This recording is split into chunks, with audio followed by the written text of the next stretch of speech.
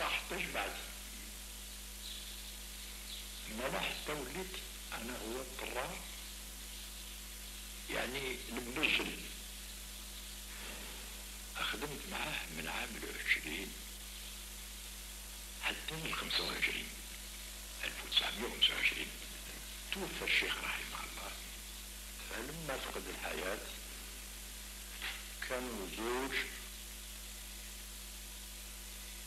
وقفوا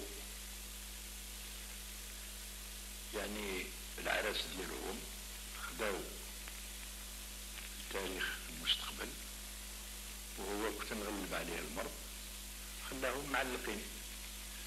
فتكلفنا بهم. أنا وسي سعيد العقيل وخدمناهم. ولكن مع هذا ما كانش عندي يعني كفاءة اللي باش نجم ناخد. يعني نعوضه وإلا ننزله. ما عنديش يعني ان ريبرتوار يعني ريش غني. أول ما بدأوا الشيخ الفن هذا الشعبي من بعد حسنوا الشيخ مصطفى الدريوش عمي عبد الرحمن المداح سعيد دراس الشيخ سعيد 26 نجلس أنا في في ذاك الوقت هذاك كاش نواسي كاش ندير اخديت موقف اللي باش نروح نطلب من الشيخ السعيدي على هذا الفن صار نعم رحمه الله وما قصرش كنا نغلق علينا واحد المحل في الريمارانجو حانوت الحاج محمد الجديري ومن العشية العشية يعطيني بعض الدروس. ما ننجمش على كل حال نستنكر. الشيء اللي هو يعني آه منفية انفعني بهذوك الدروس ديالي وبصرني وولعني بالشيء اللي باش يكمل لي التعلم قال لي كي راك يعني تحب هذا الفن الملحون قادني للمعهد ديال سيدي عبد الرحمن الثعالبي مشيت للمعهد هذا. سيدي عبد الرحمن كان في ذاك العصر هذاك سيدي علي وليد الكحل هو شيخ الحضرة. أخدمت في سيدي عبد الرحمن من عام 27 من 27 أنا هكذا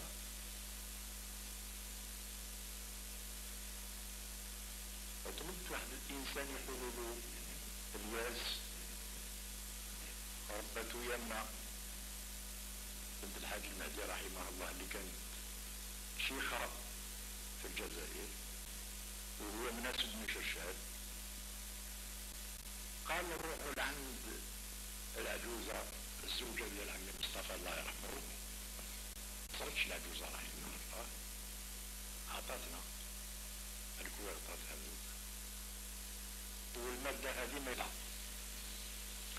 جبت الكوارتات هذوك زدت عاونت روحي ما بين السبعة وعشرين مية وعشرين أذن ليه سجلت عشرة باسة وسجلت معايا يمنا بنت الحاج المهدي الله يرحمها كذلك نقول لك وقيل عشرة باسة كذلك. وسجل معايا الحاج العربي بن صاوي رحمه الله. لا حتى العام 32 من عام 32 كسبت شيء اللي باش ننجم نقابل الجماهير. يعني عندي شيء اللي نجم نكفي به كما نقول أنا الجماهير لاباس به شيء من سيدي عبد الرحمن شيء من السيدي وشيء من الكتب اللي جبتهم من عند المصطفى الله يرحمه الشيخ سيد احمد بن زكري رحمه الله كان راجل يحب ولي الله الصالحين تقي هو يعني يحب الغنى هذا واحد النهار من اليمن تسمعني صار عاوني في القراءة سقم لي الفضيل صلح لي بعض بعض الامورات اللي هما فاسدين في اللحن لي لساني بصرني على العربية بصرني على المعاني بصرني كما نقولوا حنايا على الأسماء على الأسامي ديال الأمور اللي كنت أنا نجهلهم تماما والناس الناس الجزائر كلهم يجهلوهم على خاطر هو قارئ اللغة عالم. وحنا محسوب كما نقولوا حنا ناس اميه ما يخفاكش والغالب من الأحيان يتكاو على دوك القصايد الابيض اللي هما بلغتنا مثلا بحال الكلام ديال سيدي محمد بن إسماعيل لسان الأمهات لسان الوطن.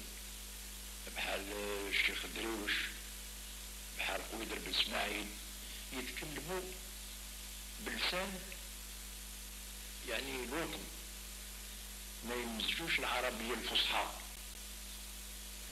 يقرأ. 37 اللي رحت لنا للحجاز على خاطر خرجنا من المواد ديسمبر. 36 ما لحقناش حتى ل 37 إحنا في البابور. والبابور هذا يسمى المندوزة رحت بصيف رحت بصيفتي مو طريق ولكن من قوة الغشي الله يبارك اللي راحوا يحجوا ذاك العام هذا. حتى رجعوا يعني القاعات ديال الوين النواسي والموسيقى الكل معمرين فراشات وكل معمرين غاشي. واستقت في عوض اللي نخدم مطرب الحاج محمد الطيار رحمه الله جعلني contrôleur général ديال la compose يعني التموين المأكولات والمشروبات وكذا وما يشبه ذلك. نراقب ذاك الشيء هذاك. بعض القصائد. اللي هما في الطبيعة في النبات في الجمال. ولكن الكل يعاودوا يوليو للدولي شوف القصايد كلهم. في الأخر كي يكون يتكلم على الكاس ولا يكون يتكلم على الجمال ولا يكون يتكلم على النبات ولا يكون يتكلم على الزهور ولا يكون يتكلم على الطيار ولا يكون يتكلم كما نقولوا حنايا على المياه ولا يكون يتكلم على جميع الامورات اللي خلقهم الله تعالى يعني آه، في, في الركن المحسن في الأخر ديالو لابد يطلب التوبة والغفران. كما نقولوا حنايا على المقال ديالو ويتبرع ويقول هاي الشرير راني نتخيلو راهو ما يتوقعش. مثلا ناخدو القصيد هذاك ديال غدر كاسكيان دين ومن فرجة العشية في أخر المنظومة ديالو يعمل واحد الموال أش يقول فيه. يقول نهاية الكلام نطلبو من الله ينام يمحي ذنوبنا ويتوب علينا بجل الفضل ويسمح لينا بجاه كتبنا بينا الشفع فينا حاشا يهون بنا نعم الكريم ولا تخفى خفية أسيدي معلوم بالعفو وعبدو يرحمه بعد الشدة والغيار هذا بعد ما كيما نقولوا حنايا اذكر الكاس واذكر السكرة واذكر الجمال واذكر كيما نقولوا حنايا الامورات اللي هما يتنسبوا للشباب والكهل يلقحوا الغرام عاود ولا للحقيقة والحقيقة أما هي التوبة والمغفرة والشيء اللي هو متنسب للدين. كان الناس يجيو للعراس من تحت ويجيو للعراس كما نقول إحنا من برا يبيتوهم في ديارهم. ما عندهم الشيء الكافي. كان قهرهم المستعمر. المخير اللي عرس اختين وليد ولا يزوج وليد ولا يزوج ولا كذا. ما عنده بيت وحده مسكين. الجيران ديالو هما اللي يتبرعوا عليه. يعطوه المساكن ديالهم على ليلة باش يباتوا عنده المعروضين ديالو. ويجيبوا هذاك المداح اللي باش كيما نقولوا حنايا يعني يضربهم في ديك الليلة. حتى للربعة ديال الصباح. هاي السبة اللي باش المداح يحكم في الليل حتى نحلوا القهوي الصباح. ديك الساعة يستكثر بخيرهم والوليمة ويبقيهم على خير ويحطوا يصيبوا القهاوي محلولين ويصيبوا كما نقولوا حنايا يعني آه وسيلة النقل. بدأت تخدم اللي باش كل واحد يولي محلول هذا السبب اللي باش يسهروا على نشر على الشيء اللي ديني على الشيء اللي نقي على الشيء اللي هو كما نقولوا حنايا فيه الحياة والحشمة. يقعد بنادم مع باباه يقعد مع الماء يقعد مع خالو مع عمو مع نسيبو مع نسيبتو إلى آخره مع اختو إلى آخره. الطريقة الشعبية ما كانش اللي ينجو يستنكر عليها. ولو يبقى فيها عرق واحد بقى حياء إلا يوم يبعثون. أولا لأنها لسان الأمهات. وثانيا لأنها الشعر الملعون اللي هو يفهم الخاص والعام. على خاطر قبل الإنسان ما يكون مثقف يلزم لسان الأمهات قبل كل شيء. ياك ها؟ والثالثة باش نزيد نصح لك قول اللي راك على بالك منه وعلى باله الناس الكل. ما كانش عرس ما كانش حفلة ما كانش وعدة ما كانش حضرة ما كانش شيء اللي هو يجوز بلا ما تصيب فيه لحم من الوحات ديال الموسيقى الشعبية. على على كل حال غالب الأحيان. عرفنا في الجزائر العاصمة الغالب من الشعب. هم يعرس إلا بالناس اللي هما يحترفوا في الموسيقى الشعبية. الموسيقى الشعبية رانا قلنا. فيها اشترط الحر اللي ما توجدهاش في الموسيقى. لا الأندلسية ولا الموسيقى العصرية ولا الموسيقى. يعني اللي هي جاتنا من الخارج. كانت فايد اللي يبداو من ألف بالهمزة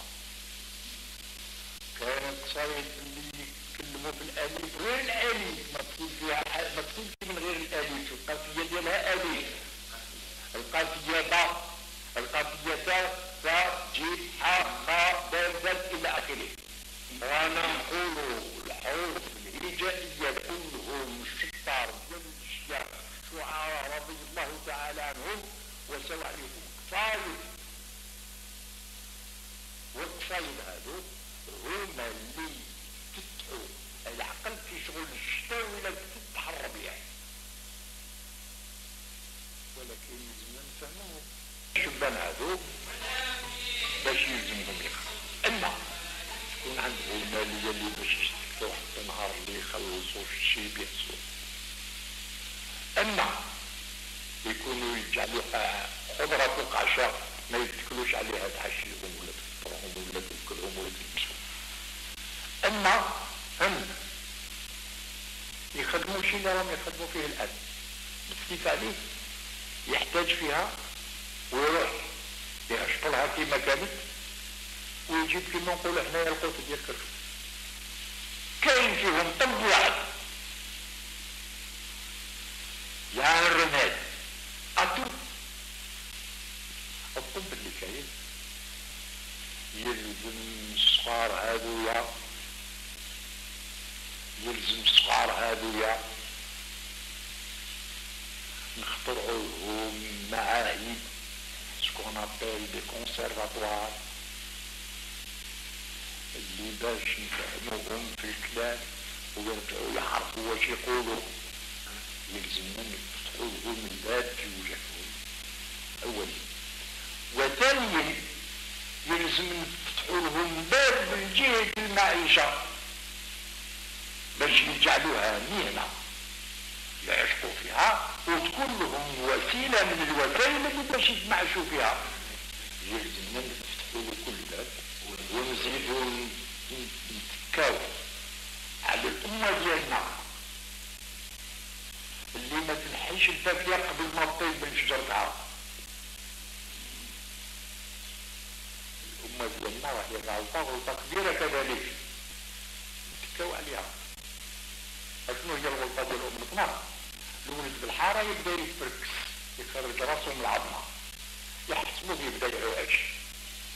وهو باش يقضي فيه صالحا ديك السويعة هذيك ويكسبوه على الدراسة ديالو يكسبوه على تعلمه يكسبوه على شيخو الطاعه والنظام ديال يدخل فيه واحد الشيء اللي هو يكون له سبب للهلاك اللي يكون سبب في المنفعه قرا معايا في الكاظ كانت لاميري تبرعت علينا بكاظ وقاعدين على سنة البازوز صاروا ولادهم كل مقطعين. قائم. درك بقات المسألة ديال اللي رانا قلنا واش من سبة اللي باش خرجت يعني من لا يرتيا من الإذاعة ما خرجش من الإذاعة أنا الإذاعة ديالي. وأنا ديالها. وأنا شوية كيما نقولوا حنايا حمق وما صبرتش. جا في بالي باللي الناس الكل تفهمني. ما يختلفش الكبير. دايم تصير له كي الصبي صغير حاجة ديال حتى حاجة تفرحوا وحاجة ديال حتى حاجة تغضبوا ياك أما الصغار ديالنا اللي هما خداو المسؤولية من 62 حتى ل 64 كي جبت روحي كاين اللي شوية غلبتهم النفس وكاين اللي شوية يتكلموا بواحد الصفة يعني كيما نقولوا حنايا اللي ما يعرفوش كيما نقولوا حنايا الحس ديال الفنان وما يعرفوش كيما نقولوا حنا القيمة ديال الفنان وما يعرفوش يفرقوا. اما لا هذيك غضبتني. وبالخصوص يعني ما ما عملوليش القيمة اللي كنت أنا مربي بها ولا يعني كيما نقول حنايا يعني الشيء اللي ولفت به. صاروا جاو خوتي وأنا كنت فرحان. مشرق بالفرحة. اللي الحمد لله احياني الحي حتى شفت النصر. ديال دولتنا وديال أمتنا وديال بلادنا جا في يدنا مالا الصغار ديالنا كاين اللي شوية ما يخفاكش. انتقدوني في بعض الأمور ولكن الانتقاد هذاك في غير محله ما هوش في محله. والناس كلية ما ملكتش عقولها في ذاك الوقت كل واحد كاش يخدم والحمد لله اللي وصلت حتى كونت جوق شعبي مترسم في الإذاعة الجزائرية. سمعت من عند الخاص والعام وفي العالم بيسريه هذه ذكرى اللي ما ننساهاش من بالي أبدا.